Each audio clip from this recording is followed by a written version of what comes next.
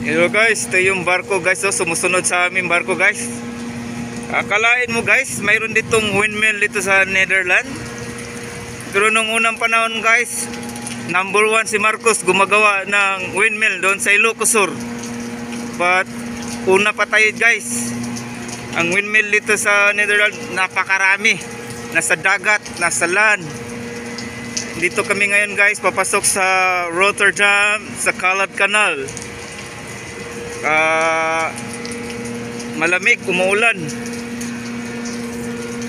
Kita mo yun guys, yung windmill.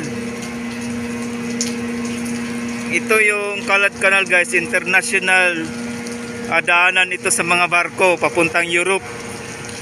Kita mo isang barko guys, oh, sumusunod oh. Oh, DFDS.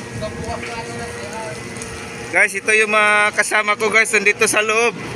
Nagpapahinga kasi safety ngayon, safety, umulan, baka magka magkalagnat. Nagtago muna para pahinga. Ito si Mr. Bagsit from Batangas. Oh, Mr. Pax from Bataan.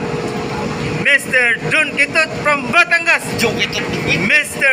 Brother Buddy Jaime from Batangas and this is me from Mindanao Secure break it down DJ Freeman on the ground amazing Amazing.